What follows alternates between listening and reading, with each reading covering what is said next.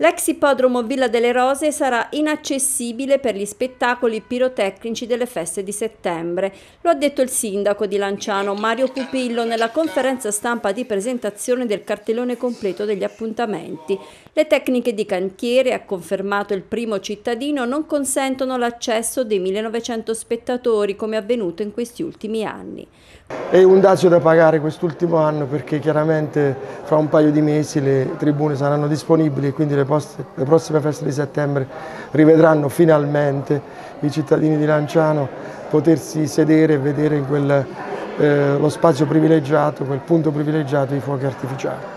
Confermate le serate clou annunciate già nei mesi scorsi con la presenza degli Ut New Trolls il 14 settembre, di Dodi Battaglia il 15 e di Alex Britti il 16. Il presidente del comitato feste Maurizio Trevisan ha annunciato la collocazione della cassa armonica per le esibizioni della banda Città di Fossacesia in Largo San Giovanni, nel quartiere storico di Lanciano Vecchia, mentre nel piazzale della vecchia stazione si svolgerà il Gran Galà delle Orchestre e Ballo in Piazza nella nottata del 13.